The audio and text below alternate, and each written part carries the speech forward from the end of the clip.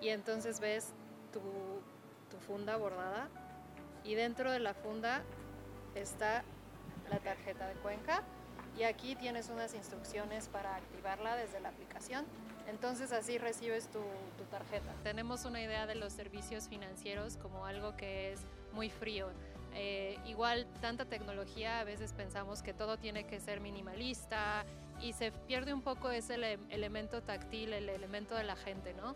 Entonces, una de las cosas que nos hace diferentes es esa parte, querer eh, colaborar con, con artesanos y, y, con artistas en general para darle un poco más de, de calidez a, al producto, ¿no? Ese es por el lado de Cuenca. Y luego, por un lado personal, he estado fuera de México casi 20 años y para mí este, este proyecto era mi vuelta a casa.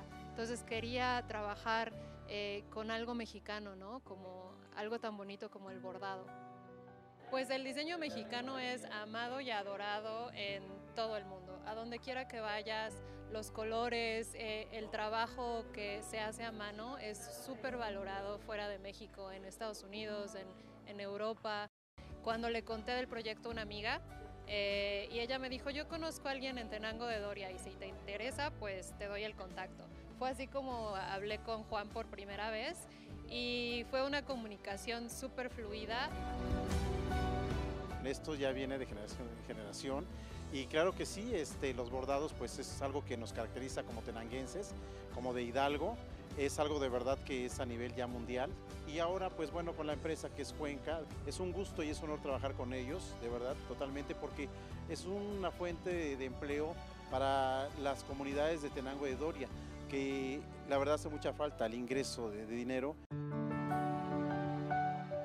Evidentemente es un trabajo que es manual y toma muchísimo tiempo.